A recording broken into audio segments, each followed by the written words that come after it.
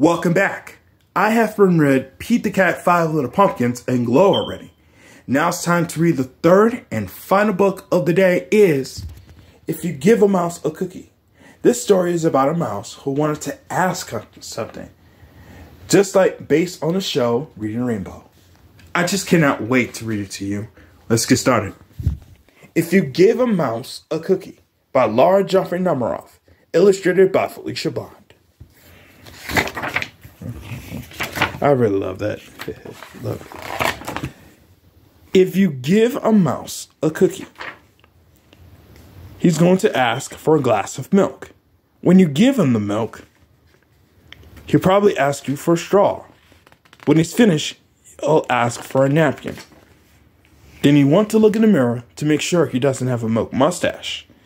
When he looks into the mirror, he might notice his hair needs a trim so he'll probably ask for a pair of nail scissors.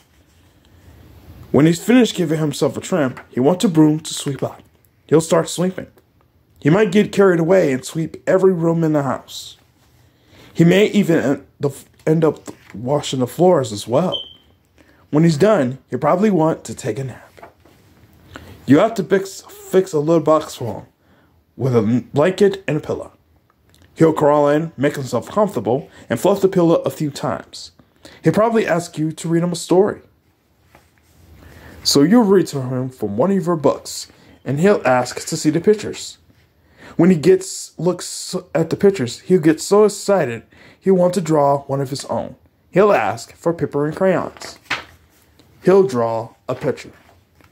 When the picture is finished, he wants to sign his name with a pen. Then he'll want to hang his picture on your refrigerator, which means he'll need scotch tape. He'll hang up his drawing and stand back to look at it. Looking at the refrigerator will remind him that he's thirsty.